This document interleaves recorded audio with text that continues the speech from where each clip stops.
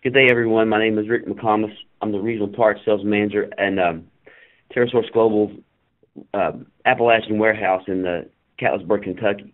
And with me today is uh, Keith Patterson.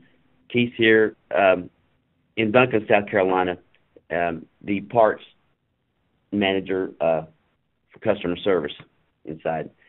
We're, we're going to start with the NF electromechanical feeders as, as our uh, presentation slide set, uh, webinar series today. There's two other another in the family of feeders, electromechan- uh, electromagnetic, and then the uh, twin the twin motor mass feeders. So, what we're going to focus on today is the NF electromechanical feeders. First thing you do when you're doing any maintenance is to first lock and tag out, lock out your power on going to the motor, and then um, also lock out your conveyor belt as well, so that while you're working on a machine, that nothing can happen.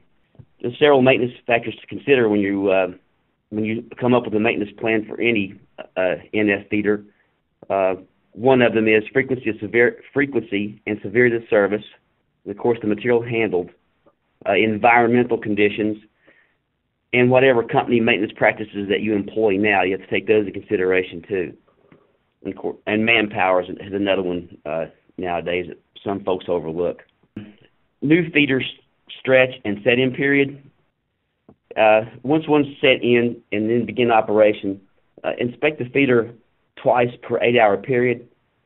Uh, this gives you a chance to take a look at anything that might pop up, especially that you might have some fatigue uh, in the metal or something that's around supporting it uh, that would cause it to destroke or something like that.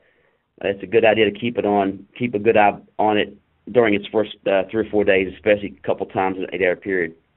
Uh, again, check the uh, material buildup on the feeder deck and monitor motor and eccentric shaft bearing temperature and check all bolts and screws for tightness. Um, when you shut it down, of course, that's when you do that. But if you start to hear noises that, that like rattling and other things touching, uh, shut the machine down and, and give it a good look to see if you can locate those uh, items making the noise daily inspections, um, you check for material buildup on the deck and under the feeder. You, you'll see here that this is one of the main main uh, culprits in causing the feeder to act up, and that is goes into a destroke mode. Depending on the stickiness and tack, tackiness of the uh, feeder or the product on the feeder, it could get built up between the deck and then the, the pan, and then start to destroke.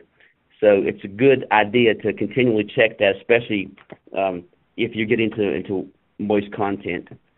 And here it says listen for abnormal noises. We talked about that just a minute ago. And always put your uh, stroke indicator in a position where you can take and see what your stroke is, see if it's staying true. Uh, check all guards and covers. Uh, that would be the back motor cover uh, where your drive eccentric exciter boxes are.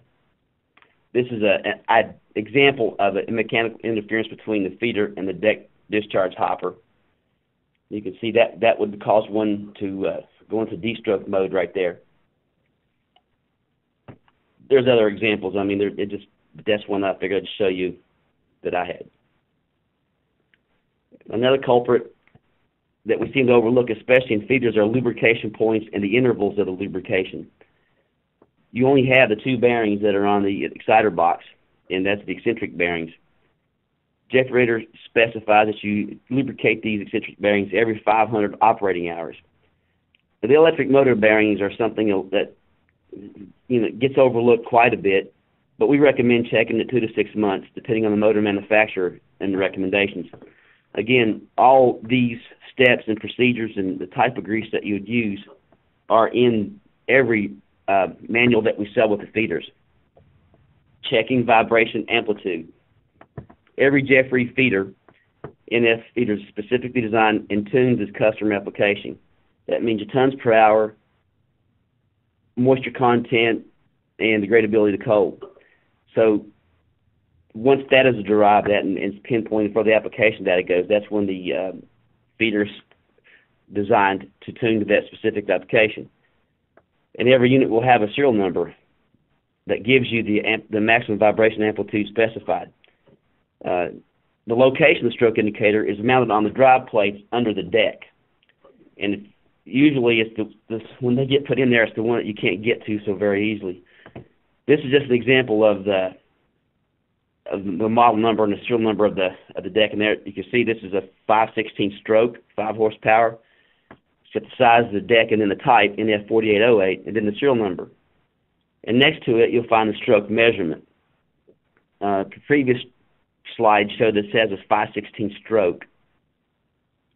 This, this slide shows the 516ths where the two circles are just touching. That is where the stroke of that particular NF4008 needs to be. If it's anything else, you've got you've got a problem, you, and you'll probably know it in your production if it's not going correctly. Now, the exciter box, um, that's where the cog motor belt inspection, um, well, the cog, the cog motor belt is. To inspect it, you need to take the uh, rear drive cover off from the exciter box, and then you check your tension at mid-span of the belt. This particular uh, timing belt requires a three and a half pound at mid-span of the belt, which is equal to about exactly three sixteenths of a de- of deflection of the belt, so that we'll get your proper tension. And you also have to take consideration the four points of contact of those two timing sprockets. A lot, oftentimes, we work on these, and uh, we don't get that alignment just so correctly, and then we're back in there again because the belt's tracked off the uh, off the pulleys and split itself in two it's pretty it's really important that you get that deflection right and certainly get those uh, four points of contact across the face of the of the timing sprockets. This is an example of this. If you look into the NF feeder box components, you'll see the motor and then the motor sh- uh, the dri- the driver sheave. That's uh, if you can see well enough, that four points of contact is either side of the, the sprockets.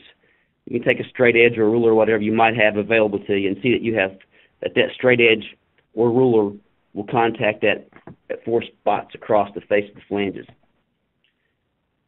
And the exciter box components sitting here, you'll see the uh, springs with these rods coming out of them. This is important that, on the next slide that when you go to change these springs, if you ever have to change the springs, to get to those rods, you have to take this motor out of the exciter box uh, to get access to those bolts that are in there holding those uh, connecting rods together. This is cog, the cog belt replacement. They say that the, the cog belt should never require servicing other than occasional check for tension and unusual damage, which is which is true.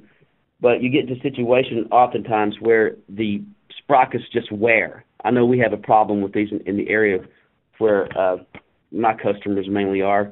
It, we, the coal dust gets in there and just eats the sprockets up and then you get uh, the teeth will jump on the sprocket. So we do replace some uh, some sprockets and belts uh, quite a bit in coal fields of uh, West Virginia. And it is recommended that the belt be replaced at the same time the motor or repairs are made if you have to make any motor repairs. Uh, when necessary, follow steps outlined in the NF vibrating feeder manual. Again, everything that we talked about is in the manual that comes along with the feeder. The bearings of the vibrating feeder are heavy duty, specifically selected for the severe operating conditions of the exciter box. The re- review the NF vibrating feeder shaft bearing replacement.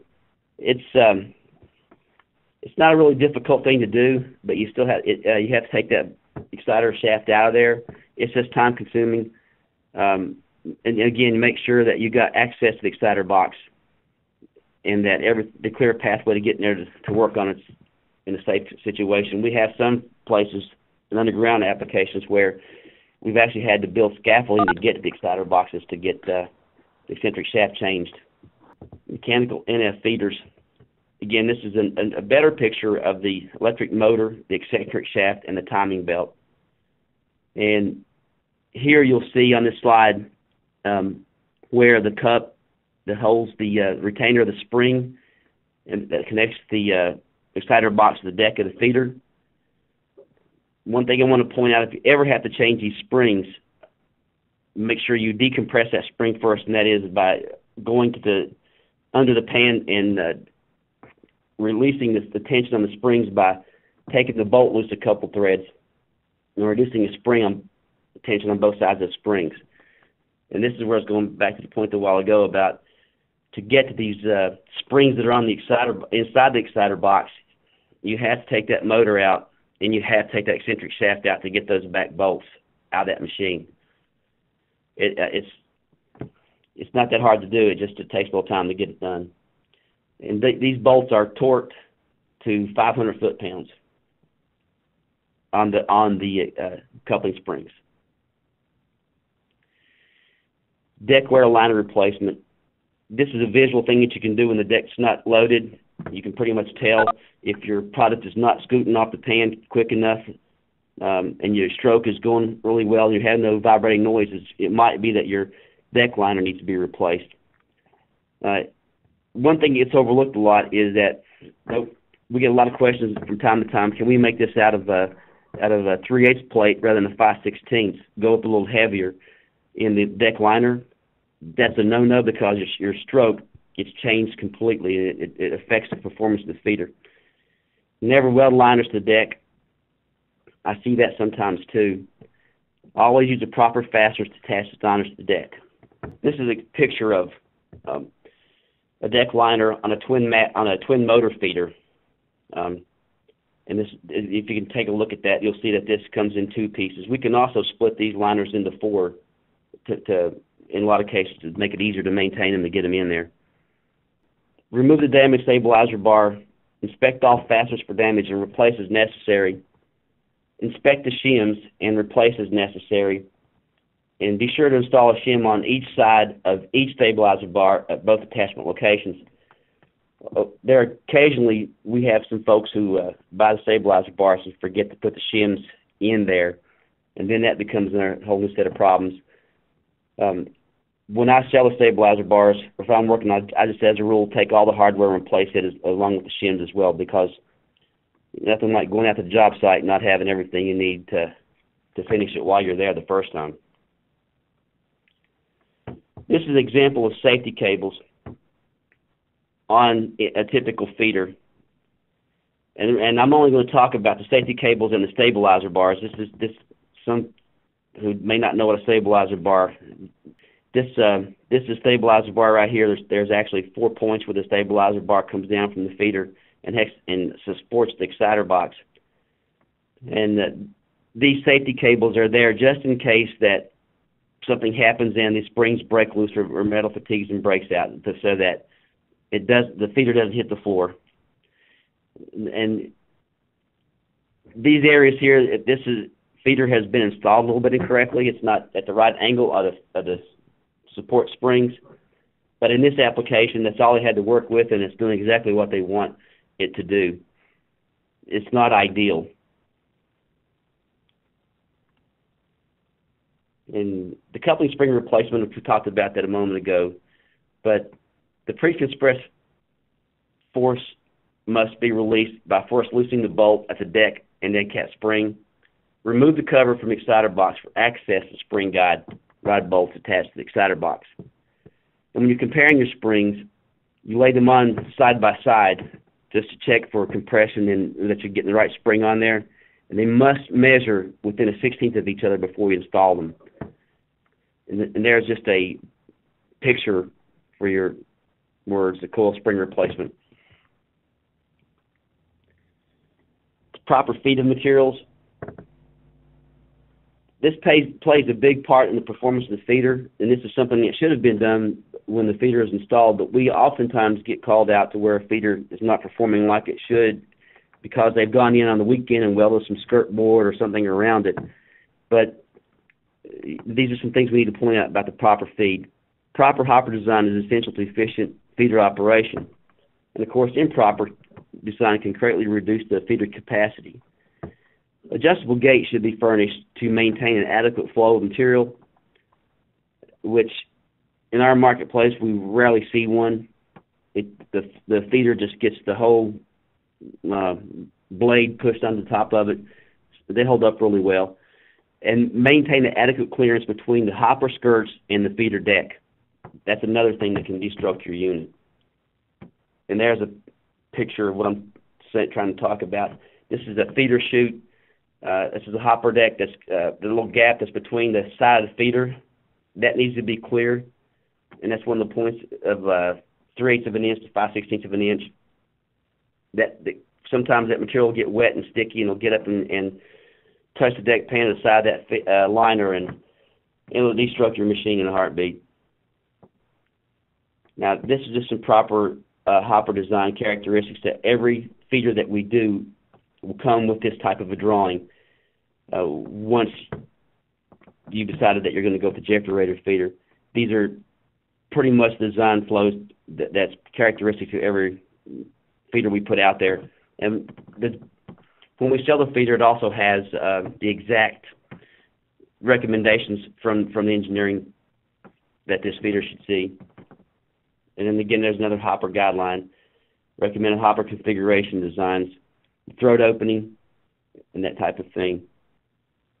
We all this information is given to you before we even talk about uh, sizing up a feeder. And here's the hopper width is, is relatively important as well. And then the skirting should be uh, rubber, not touching any part of the deck. If if you do that, then it, it will also de-stroke it too. The skirt should have a half inch clearance from each side wall of the feeder. That's the main thing. We get a lot of folks that uh, try to keep the product from falling off, and then they'll have the skirting material touch the side of the deck, and that just uh, causes some problems in startup as well. Uh, hopper burden load. This is uh, when you start the feeder up. If you got uh, if you don't have a gauge in there to uh, meter the flow to the product, but but again, when we get in uh, a lot of my area, we don't have those. Uh, we deal with a lot of the hopper burden loads because we don't have uh, gates there. Well, I know that was quick. Thank you very much. Does anybody have questions? Marlin would like you to address things to consider when using these feeders in hot, warm, cold, and extreme cold temperatures. I'll let Keith handle that. That's that's an application data thing that uh, engineering should answer. Okay, as far as uh, operating in in cold temperatures, um, the thing you've got two issues uh, to deal with. One, if you have uh, frozen material, uh, you that can lead to uh, reduction in capacity due to the uh, frozen material resisting getting out of the hopper to the feeder pan. The other issue uh, to deal with in extremely cold temperatures is the lubrication of the bearings. Uh, if the uh, lubrication is too thick, you may not have adequate uh, film lubrication uh, thickness at the bearing level, and you may find that in the wintertime you need to go to a slightly lower viscosity oil or grease for those bearings. Uh, if you're up in the in the northern part of Canada or in the uh, tundra uh, where it doesn't uh, get up above freezing uh, in the course of the day. As far as operating in hot temperatures, uh, feeders usually don't have too much issue with uh, operating in high ambient temperature. Uh, as far as an ambient standpoint, uh, the feeders can operate up to 100 degrees Fahrenheit uh, without any issue at all. We do take special precaution if your material is at a high temperature, uh, like at three or 400 degrees Fahrenheit material that you're processing, then we may go to special alloys for the deck and liners, uh, and also uh, possibly set up some forced ventilation or other issues that have to be uh, considered on an application-to-application basis.